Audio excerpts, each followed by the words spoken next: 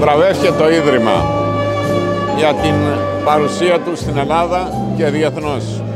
Και είναι μια αναγνώριση του έργου του, την οποία, για την οποία ευχαριστώ πάρα πολύ το Περιοδοστικό Σώμα και για ένα επιπλέον λόγο, διότι αυτό ανταποκρίνεται στο ίδιο το πρόσωπο του Βενζέλου, δεδομένου ότι ήταν ο ιδρυτής του πυροσβεστικού σώματος.